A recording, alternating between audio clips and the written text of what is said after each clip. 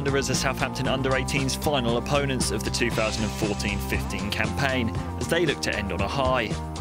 A somewhat unknown quantity, Bolton have won just once in the playoff stage so far.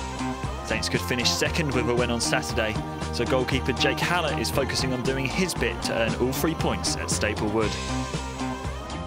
Yeah, obviously, boys been working hard this week in training. We're looking for the win to get as high up in the table as we can as possible.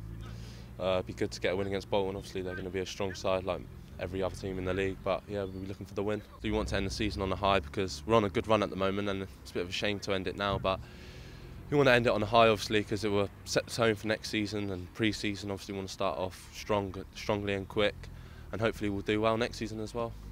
Yeah, we haven't played them for a couple of seasons uh, at 18s or 16s level, so it'll be interesting to um, to see what they're like. Um, that's a good thing, as we've said in the past about these playoff games, that you get to play the different sorts of teams. So it'll be interesting to see um, what they come with. Um, we've got a bit of match footage of them, which we'll watch and prepare as normal, and, and look forward to finishing the season strong. We've had a nice little sort of run of performances and and uh, results in this playoff stage.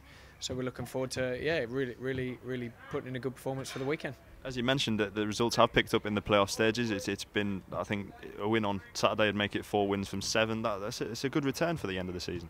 Yeah, it is, and I think that's linked to the performances as well. So we've been performing better. We, had, we didn't have the best start against Fulham in the playoffs, but then ever since then we've had some really good performances. Even the, the, the games where we haven't won against Blackburn and, and Stoke, we've still performed quite well. So that's been a positive.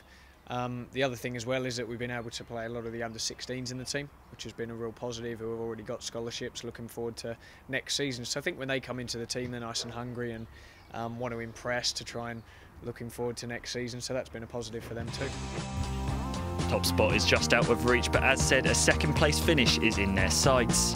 Whilst coach Anthony Limbrick is determined to see out the season in style, he's also looking ahead to next season and has praised the under 16s players that have made their mark in recent weeks. Well, yeah, we had a, a we had a, a, tough a tough back four, you could say, of players who hadn't had a lot of experience playing together, so they did really well. Um, ben Cole, Ben Rowthorne were, were, were, were really good at the back, which was positive for them, having never really played together at centre back, and also Connor Langan did quite well in in the back four too. So, yeah, it was positive for those players to get that opportunity and put on such a good defensive display against a always talented and quick and pacey and direct Arsenal team. So yeah, we were happy with them. On, on Monday night, the under 21s played against Manchester United. Alfie Jones and Marcus Barnes made the first starts at that level. That must have been nice to see as their coach at the 18s.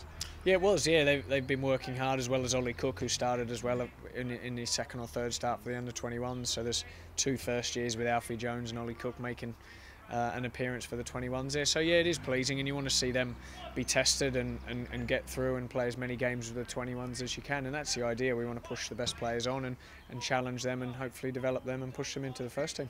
And a lot, a lot of the younger lads have come into the side in recent games, and, and you beat Arsenal last week, and it was a fantastic result. It's good to see the, the younger lads getting that experience and also performing at this level. Yeah. I think they did very well last week. Ben Rowthorne and Ben Cole obviously are playing in a centre back position. Like they both don't play there, but they both play in different positions. And obviously they're in the under 16 side, and they'll be with us next season. So it's good to give them experience, and I thought they both did brilliant.